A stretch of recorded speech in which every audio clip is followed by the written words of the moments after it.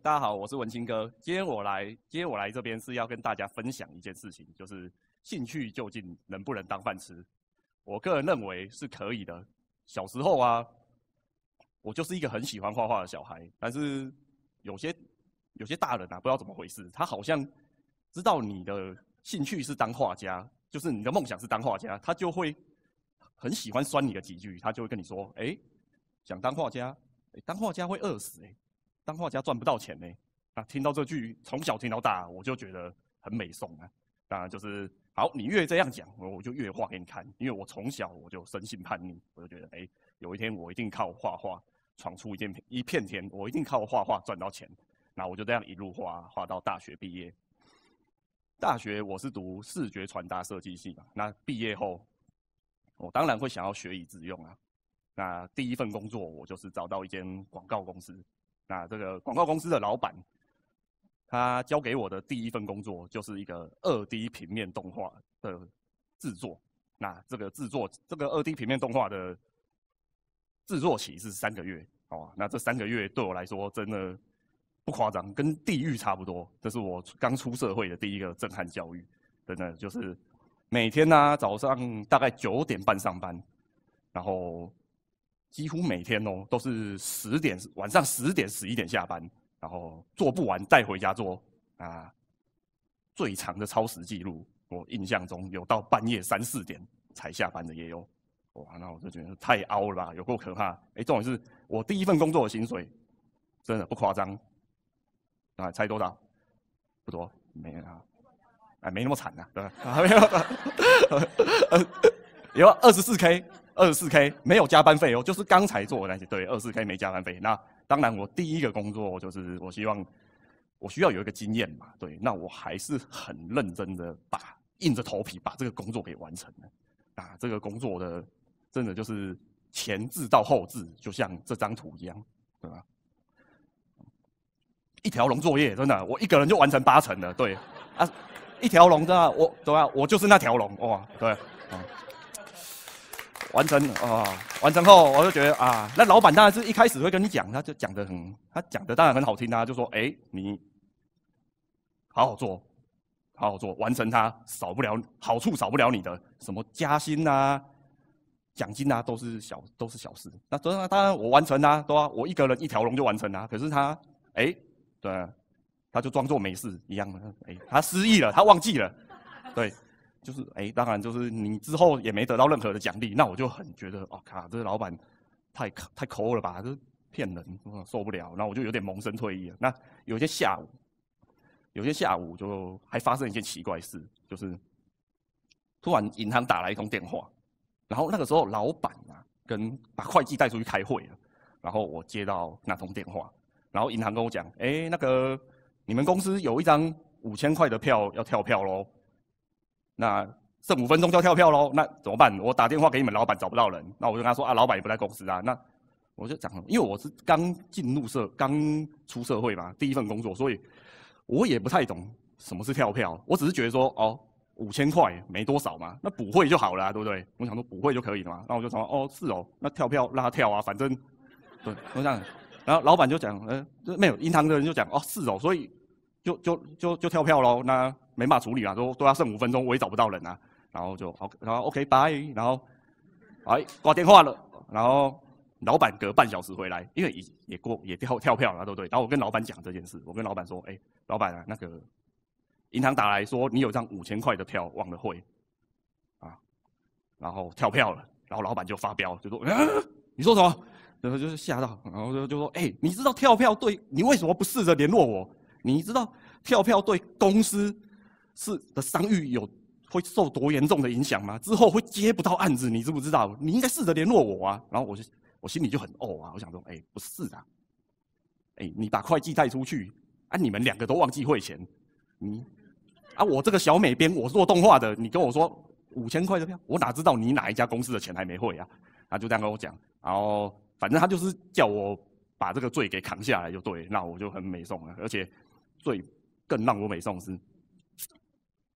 他之后啊，还三不五时拿这件事情威胁我，就跟我讲：“哎哎，文清啊，那个因为你之前害公司跳票啊，那所以你你必须为公司做点补偿，因为这样公司之后很难接到案子。那你我又多接了两两部动画的案子，那你需要你去帮我完成。我想到我就吓一跳，我说：“哎，哇，上次做第一部做完，我命都去半条了。哇，你现在还多说多接两步叫我补偿公司，我还不知道补偿什么呢。而且说实在的，你是第一步那个你糊弄我，说话不算话，做完也没好处，我才不要嘞，是吧？我不是笨蛋嘛，那我就隔天我就马上跟他提离职，说：哎，老板，那个我不做了，我找到更好工作了。然后他还好，他也没留我，是吧？然后我就赶快，无所谓，无所谓，对对对。然后他就，然后我就马上找第二份工作。那第二份工作，我找到了一间，马上去就是一间出版社。那这间出版社是一间出版佛教刊物的，哇，哎，嗯。然后我在面试的过程啊，那个跟老板就是，老板有特别跟我强调，他说，哎，他是学佛的，吃素的，有在修行。啊！我听到我就说哇，这个得透懂啊，这这一定是好老，这好老板，这一定是好老板，怎么可能有这些条件？还不可能像第一个那样嘛？啊相谈甚欢，我就马上决定，哎呀，好，我要到这边上班。那上班当然一样做平面，一样做平面设计嘛。啊，薪水其实还是很少啦。我薪水第二份工作，我薪水也是只有二十六 K，对，很少，在台北。那一样说大概做的工作就是平面设计做工作就是。做封面呐，内页排版呐，然后做做 D N 呐，这样，然后其实每天也蛮忙的。然后有一天下午，老板拿着一叠，发生一件奇怪的事情。对，老板拿着一叠厚厚的纸，然后放到我桌上，他就跟我讲：“哎，文清呐，这边有一份认言咒的草稿，客户需要你重新帮忙编排，帮忙校对一下。”那我想说：“嗯，认言咒？什么是认言咒？”应该跟大悲咒差不多吧，然后我就哦，OK OK，好啊，然后我就翻开一看，我就看到这个内容，哦，他叫我校对这个啊，有没有？我就想说，哎，我吓到，我就认严咒，我认住了啊，我我想说，哎，不对，啊我说不对，老板这个这个好像是范文呐，这这是范文对不对？然后老板就讲，哎，我说我看不懂，这这你应该找专门的文编呐，你怎么我美编，我怎么可能看得懂范文？对，然后就说：“哎，文清呐，你不要那么小看自己。我跟你说，对，对你不要小看自己。我跟你说，其实你会来到我们公司，我告诉你，就是你跟佛有缘。然后你跟佛有缘，那我只是之前没告诉你，其实你是个很有佛性的人。对，然后我就运用你的佛性，用心去体会。”你一定有办法看得懂这些文字，对我相信你做得到，也只有你做得到。哇！我第一次被这样夸奖，我就知道哦，哇，原来我都不知道我自己有佛性呢。我想，好，OK，哎，老板，那我用我的佛性来帮你校对，然后就答应他，因为你也只能，你也不能说不嘛，对不对？然后就他好接下这个工作，那就开始校对，然后校对到准备要送印了。送印准备送印那一天，然后老社长就问我，就说：“哎，文心呐，没问题吧？”我就说：“他说没有问题，OK 的。”然后就送印，那送印之后成品回来了，哇！成品回来之后交到客户手上，哇，不得了！客户打来骂老板了，他就说：“哎，你们不是专业出版社吗？怎么校对了？第一页错到最后一页，哦！然后他，然后，那是是重做，不管重做，你给我你们给我重印。然后老板就把我叫进去，然后我就讲，我就跟老板就跟我说，嗯嗯，就说：哎，你不是说没问题吗？然后我就讲啊。说我老板，我尽力了，我可能我佛性没有你想象中高，对不起。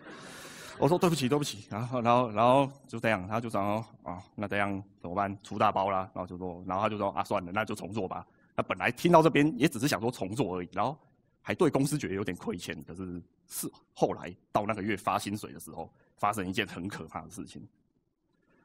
对啊，我跟你讲过，我的薪水只有二十六 K，对不对？然后发薪水，我就看到薪水条上面当月发下来，嗯。怎么就十三 K？十三 K 哦，然后就说，哎，我就是在吓到，我就去问老板，哎，我就说，哎，社长，不是啊，另外十三 K 跑哪去了？对，然后就讲说，哎，哎，不是啊，另外十三 K，我说我跟你讲是这样的哈，嗯，当初是你跟我说没问题的，对不对？啊，我都跟你确认过，对不对？那现在出错了，重印，那这个费用当然算在你身上啊，怎么会是公司？怎么会算在公司身上呢？哇，我听到我就吓，我就。生气，我就生气气，我就讲，哎，不是啊，你，我就想说，哎，不对，你二十，我当初就跟你说我看不懂了，哎，这是范文呢，你没有请文编来校对就算了，我就想说，哎，我不相信你也看得懂啦，对不对？你这样硬叫我对，那这样，对，然后而且我薪水才拿你二十六 k，你扣了我十三 k 也太夸张了，我这个月要怎么活？那我就跟他讲，哎，我就做到今天哦，你今天。我就做到今天就辞职。你要是今天我离开公司前，你没有把十三 K 给我补到我的户头，我跟你讲，我一定马上去告你。而且我不只会告你哦，我会每天拿大声公到你公司前面。我说我说真的哦，我会拿大声公到你公司前面说你欠我钱，不然你走着瞧。哎，哇，他吓到了啊！真的，他吓到了，他马上就把钱汇到我户头。然后我就说啊，怕坏人会怕就好。然后我就当然我知道他钱汇到我户头，那我就马上哎。我就离开，我就头也不回就离开公司。但是其实经历了这两个工作啊，就是经历了这两个很荒谬的工作之后，我还是觉得我还是没有学乖，我还是继续待在平面设计这个圈子。然后之后我又继续做了三个工作，有有五金物流公司啊，有有医美诊所的也有，然后有食品观光工厂也有。那我不知道是。我不知道是我的能力有问题，还是这个平面设计这个产业有问题。就是我一直都还是很不顺。那我觉得我遇到老板还真的好像都是这副德行，啊，那大哥对吧？对吧？为对啊，成就做那么辛苦，背那么凹，成就什么？哎呀，为了成就老板买跑车嘛，对不对？只能这样了，是吧？然后我想说啊。就真的很沮丧，然后后来最后我跟一个主管吵架，那个主管就是他酸了我几句，那我觉得哎，虽然说他酸的这个内容没有特别重，但是确确实也让我顿悟了。他跟我讲，哎哎，你什么咖啊？叫你做什么你就做什么，你不要每次都在那边意见一堆，好不好？你觉得自己很有名是不是？哇，他讲这个，我觉得哎，对，他说的对，我继续待在这个待在这种产业，我还真不会变成一个咖。我靠，工时这么，钱那么少，啊，这么凹，工时这么长，啊，又都不给加班费了，几乎劳基法能犯的那种法条，我他们几乎都全犯了，我觉得受不了。对，然后我想说啊，最，我觉得我最在意的，其实那一些都还好，我最在意的都是我投入平面设计这个圈子大概三年了，我觉得我回头想一下，我觉得。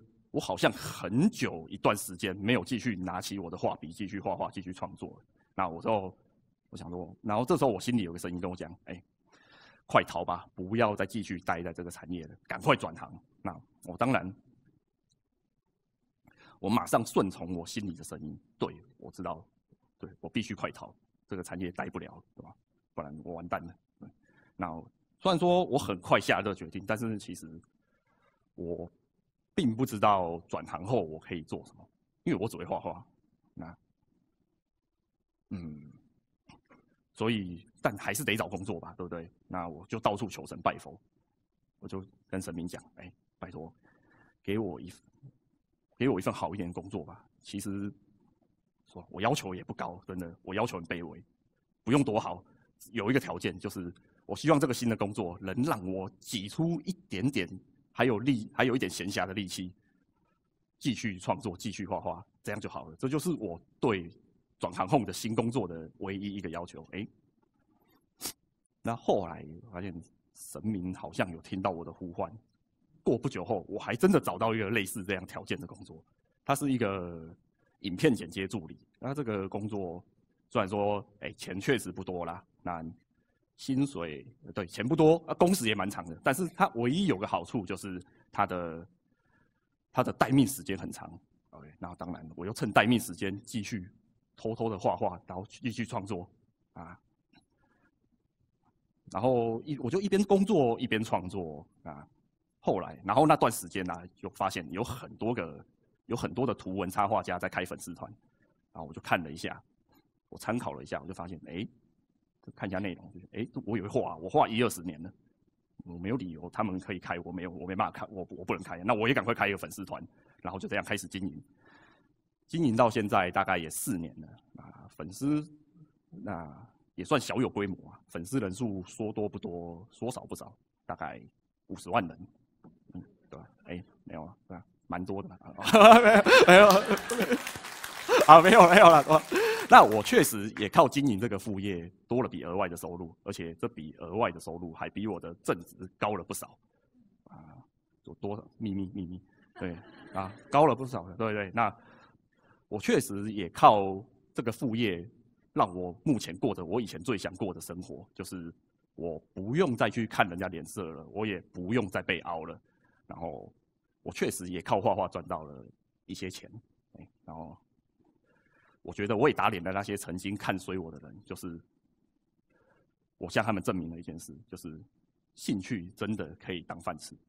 啊，后来啊，我回头想，我回头想了一下，就是当初我会离开。平面设计这个环境，我不是在逃避，我是因为我想保护住我对创作还残存的那股热情。如果我继续还留在那个环境，我的热情一定会在那个环境里被消磨殆尽。所以我一直还蛮感谢当初愿意勇敢离开那个环境的自己。啊，人啊，常常会觉得自己走到绝路，就像这张图啊，对不对？成功路上不不拥挤，只是通常。禁止通行，对对对，哎，禁止通行，禁止通人常常会就是禁止通行，就好像走到绝路嘛。但是其实我并不这样想，走，其实你没有走到绝路，那只是老天告诉你，你该换条路走了。换条路走之后，你会发现别条路上会有更美好的风景在等着你。谢谢大家。